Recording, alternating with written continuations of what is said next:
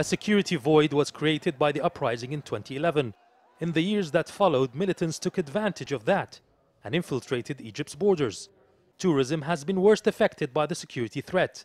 It's Egypt's main source of foreign currency. The military has made gains against terror groups though, and President Abdel Fattah el-Sisi has been focused on economic reforms. Still, much of the damage has already been done. The Minister of Antiquities earlier this week announced the closure of 20 museums due to a lack of visitors. In 2010, tourism revenue reached 15 billion dollars, which is more than we need as the IMF loan.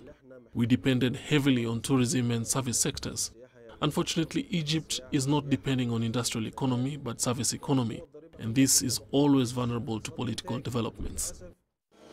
The country's new economic vision includes more industrial and agricultural projects. They're intended to lessen Egypt's dependency on tourism.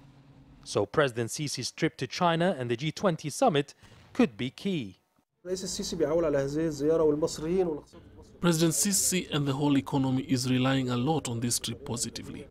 There are investment targets such as the solar power project for 1,000 megawatt, and Sisi will also benefit from the trip by promoting the Suez Canal as China has a Silk Road to boost international trade, and this will greatly benefit Egypt economically at this crucial time.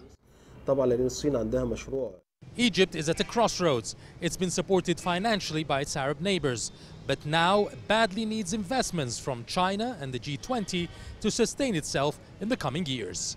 Yasser Hakim for CCTV, Cairo.